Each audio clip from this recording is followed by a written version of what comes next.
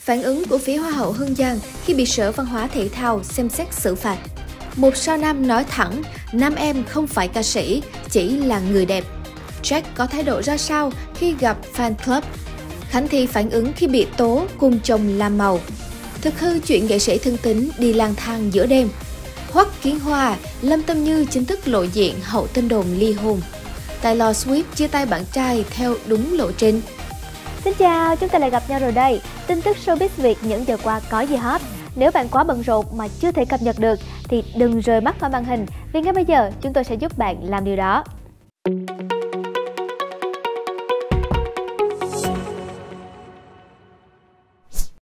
Phản ứng của phía Hoa hậu Hương Giang khi bị Sở Văn hóa Thể thao xem xét xử phạt. Sau nhiều vòng thi, đêm chung kết cuộc thi Miss International Queen Việt Nam 2023 đã chính thức diễn ra và chiếc vương miện danh giá đã có chủ.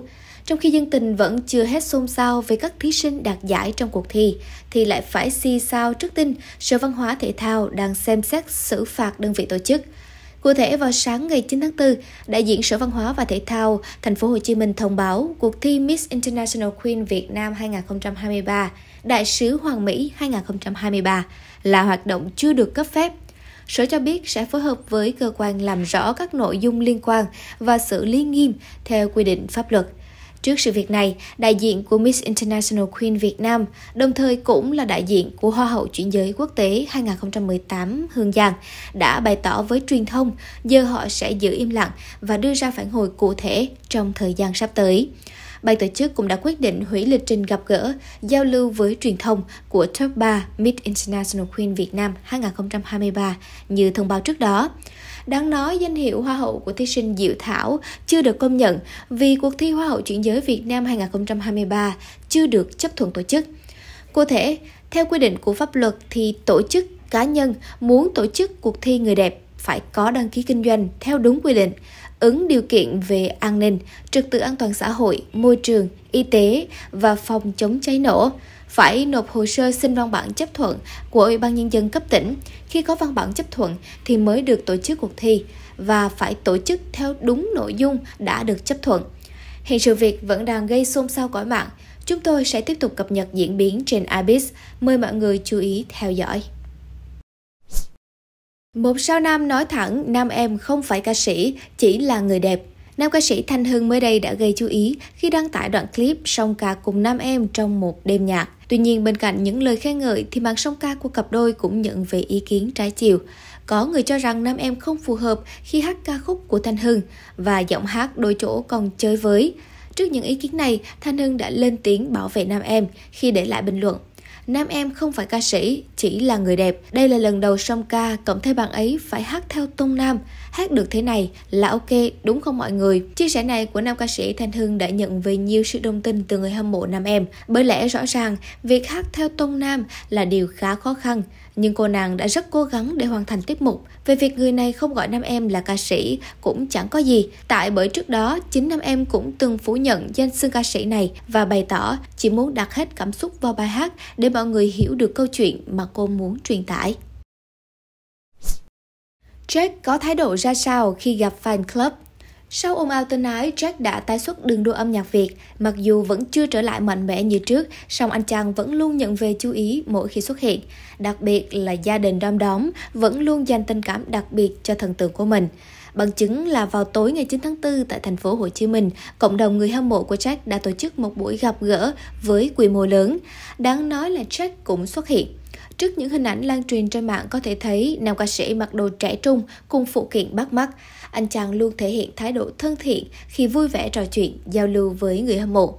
Về phía đom đóm, họ cũng trao cho thần tượng những tình cảm nồng nhiệt, đặc biệt khi giọng ca sinh năm 1997 giao lưu với fan.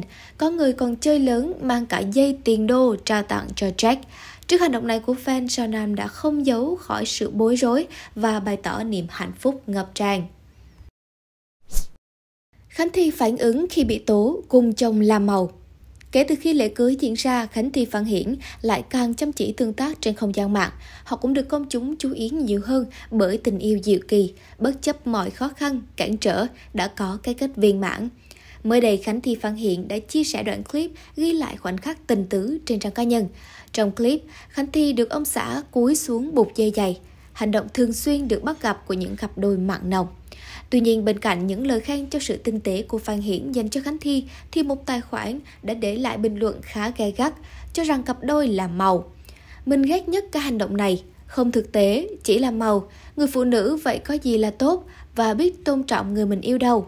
Sau đó không lâu Khánh Thi đã lên tiếng phản pháo như sau. Dạ, nhưng Thi trân trọng hành động này của chồng mình chị ạ. À. Bầu bì khó gặp người, mệt được chồng chăm không đúng ha chị. Bình luận của Khánh Thi đã nhận về nhiều sự hưởng ứng của cư dân mạng. Các bạn, hãy chia sẻ quan điểm với Ibis nha. Tiếp tục sẽ là những tin tức nổi bật sau. Mời mọi người chú ý theo dõi. Thực hư chuyện nghệ sĩ thương tính đi lang thang giữa đêm, mặc dù đã hoạt động nghệ thuật trở lại, song không ít lần nam nghệ sĩ thương tính khiến khán giả phải bất an bởi tình hình sức khỏe của ông. Mới nhất mạng xã hội đã lan truyền hình ảnh nghệ sĩ thương tính đi lang thang giữa đường lúc nửa đêm. Trong clip, bên cạnh hỏi nam nghệ sĩ, người này còn biếu thêm tiền cho ông. Dù được ngỏ ý bắt xe để đưa về nhà, tuy nhiên nghệ sĩ thương tính đã từ chối. Trước những hình ảnh này, không ít người đã bày tỏ sự xót xa cho một diễn viên từng nổi đình nổi đám trong showbiz Việt. Tuy nhiên, thực hư câu chuyện lại không như những gì mọi người nghĩ. Chia sẻ với truyền thông, nhạc sĩ Tô Hiếu cho biết, hôm đó anh và nghệ sĩ thương tính đi quay về, ghé nhà một người bạn để ăn uống. Do mệt quá nên Tô Hiếu xin phép về trước, còn nghệ sĩ thương tính được một số người bạn đưa về sau. Sau đó, sau phim ván bài lật ngửa, được gọi taxi để đưa về. Và đoạn clip đang lan truyền là hình ảnh sao Nam đang ra chỗ taxi mà thôi.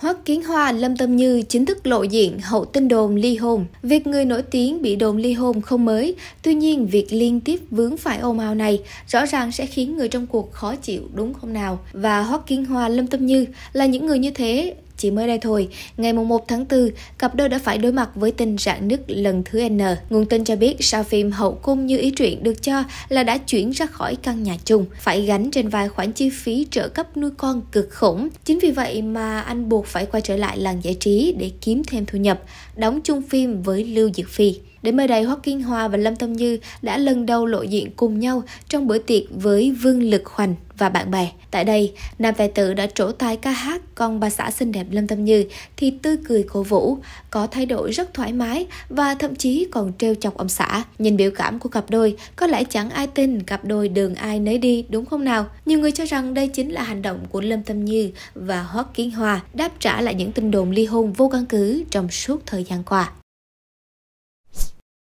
Taylor Swift chia tay bạn trai theo đúng lộ trình. Cõi mạng mới đây đã không khỏi xôn xao trước tin Taylor Swift chia tay bạn trai sau 6 năm hẹn hò. Thông tin này đã được trang tin Page đăng tải. Nguồn tin tiết lộ mối quan hệ giữa Taylor và Joe Alwyn rạn nứt từ khoảng vài tuần trước. Tuy nhiên cả hai chia tay trong yên bình và không liên quan tới những người tình cũ. Không có ồn ào nào xảy ra, mọi thứ diễn ra theo đúng lộ trình của nó là những gì nguồn tin cho biết. Theo đó, trong các buổi lưu diễn gần đây của Taylor, người hâm mộ phát hiện Joe Alwyn không tới ủng hộ bạn gái như thời gian trước nữa. Hiện đại diện của cả hai chưa lên tiếng phản hồi trước thông tin này. Thông tin Taylor Swift chia tay bạn trai sau 6 năm bên nhau khiến người hâm mộ không khỏi ngỡ ngàng, ngơ ngác tới bật ngửa. Bởi lẽ Joe Alwyn là mối tình dài nhất của nữ ca sĩ từ trước tới nay. Thậm chí từng có tin đồn cả hai đã đính hôn và sẽ chính thức tổ chức đám cưới sau show diễn The Era Tour. Thông tin vừa rồi cũng đã khép lại chương trình giải trí Abis. Ngọc Cúc xin được cảm ơn sự quan tâm theo dõi của quý vị và các bạn. Hẹn gặp lại mọi người trong những chương trình kế tiếp. Còn bây giờ thì xin chào!